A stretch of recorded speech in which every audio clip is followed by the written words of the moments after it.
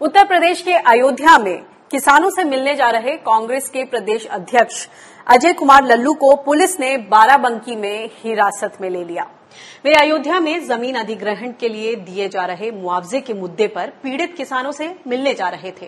कांग्रेस ने सरकार पर किसानों को मुआवजा देने में भेदभाव का आरोप लगाया।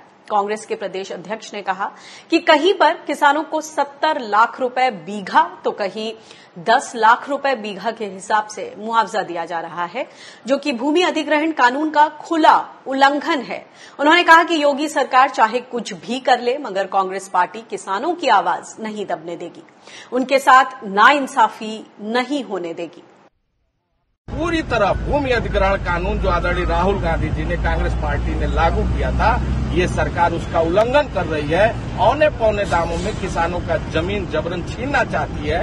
कांग्रेस पार्टी उनके हक और अधिकार के लिए उनसे मिलने जाना चाहती थी। लेकिन यहाँ तो सरकार और प्रशासन जबरन रोकने पर भी वश है। उनसे बात नहीं करने देना चाहती, उनकी समस्या समाधान नहीं करना चाहती।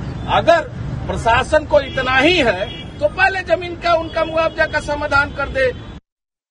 अयोध्या रायबरेली फोर लेन के लिए किसानों को उचित मुआवजा तो छोड़िए उन्हें किस दर पर ये मुआवजा मिलेगा इसकी भी जानकारी नहीं मिल पा रही है। देखिए ये रिपोर्ट। आरटीआई के लिए एप्लीकेशन वहाँ दाखिल की गई वकील के माध्यम से। जिसकी सूचना अभी तक कोई भी हम लोगों को किसी भी प्रकार का विवरण नहीं दिया गया कि आपका मकान किस दर से लिया जा रहा है, मध्य सड़क से हमारा मकान कितनी दूरी पर एक्वायर किया जा रहा है, और उस मकान की दर क्या है। यूपी के अयोध्या ज़िले में शिवनाथपुर गाँव के किसान और ग्रामीण इन दिनों इसी समस्या से जूझ रहे हैं। इन्हें अयोध्या रायबरेली फोरलैंड के लिए अपनी ज़मीन, मकान और दुकान सब कौड़ियों के दाम पर चले जाने का डर सता रहा है। यहाँ पर इलाके को शहरी या ग्रामीण मानने को लेकर विवाद है।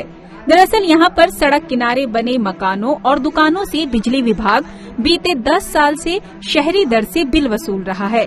लेकिन ज़मीन अधिग्रहण के लिए प्रशासन की ओर से कृषि भूमि का मुआवजा ही प्रस्तावित है, जो स्थानीय निवासियों को घाटा पहुँचा सकता है।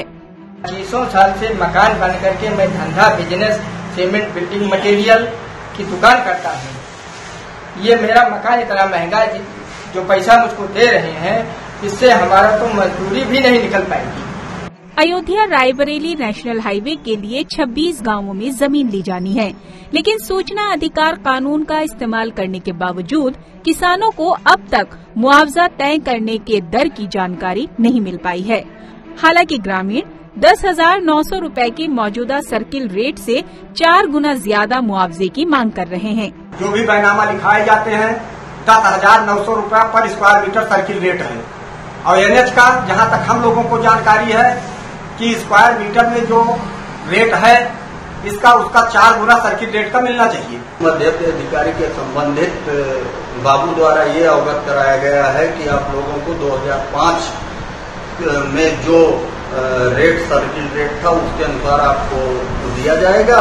और जबकि वर्तमान सर्किल रेट दस हज़ार नौ सौ करीब में है, उसके अनुसार हम लोगों को मिलना चाहिए। ग्रामीणों ने उचित मुआवजे के लिए सीएम आदित्यनाथ को चिट्ठी लिखी है। हालाँकि अधिकारी इस बारे में कुछ साफ़ बोलने से बचते नज़र आ रहे हैं। ये विषय एस साहब का है क्योंकि जो भी मुआवजे की राशि का निर्धारण है, वो जिला स्तर पे होना है। उसका वो लेकर के ध्यान से कोई एक स्थिति नहीं है कि किस व्यक्ति को कितनी राशि दी जाएगी तो मेरे विचार से इससे कुछ कहना उचित है असल सवाल तो ये है कि आखिर प्रशासन ग्रामीणों को मुआवजे की सही जानकारी क्यों नहीं दे रहा है? क्यों इन्हें धक्के खाने के लिए मजबूर किया जा रहा है? उत्तर प्रदेश के अयोध्या से विनोद कुमार के साथ ब्यूरो रिपोर्ट, स्वराज एक्सप्रेस।